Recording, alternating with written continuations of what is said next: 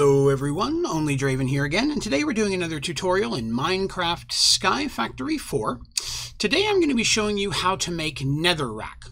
Um, I know that netherrack is easily obtained going into the nether, uh, but in Sky Factory 4 there are a lot of bugs and issues with going into the nether that can cause a lot of lag and even mess up your game a little bit. So sometimes it's uh, preferred to not have to go into the nether if you don't have to.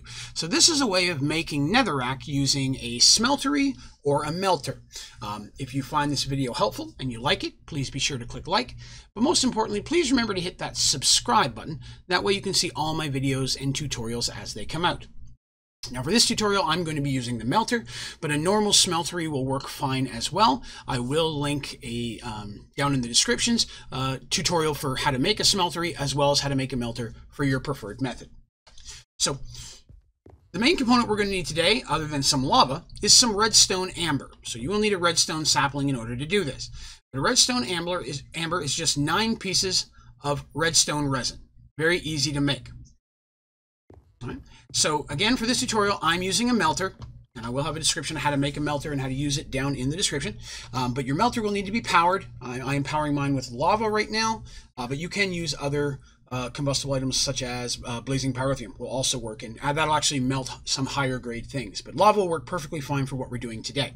Um, you're also going to need a casting basin, not a casting table, in order to make your netherrack.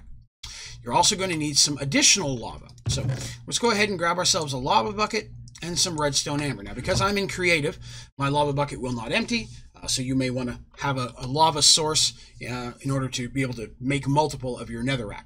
But you're going to put lava up in the actual melter itself. So by right-clicking on the melter, you'll see that I put lava in. So you don't actually have to melt anything to get lava. Just right-clicking with the lava bucket will put lava up inside of your melter. Now, hitting right-click on the faucet doesn't do anything. This is where our redstone amber comes in.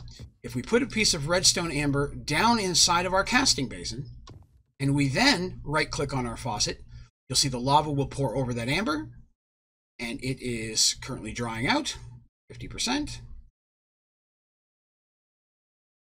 And now we're at 100.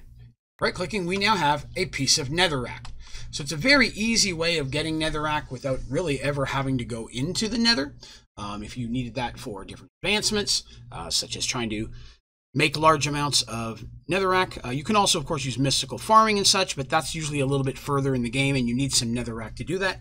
So this is a great way to get you some just basic netherrack right out of the gate. Uh, once you have your redstone, of course. Um, but that's really easy to do, and again, you can just rinse and repeat it as often as you'd like, and it's also very easy to automate this system um, and having lava going directly into your melter as well as having this automatically loading as well. So it's very easy to automate this using a couple automated users and so on. All right, but that's all that's involved with making some homemade netherrack.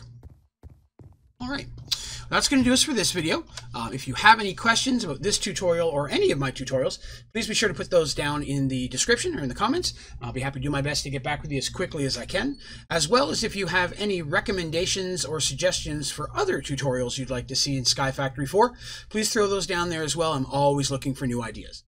That's going to do us for today. Thank you very much for watching. Have a great day.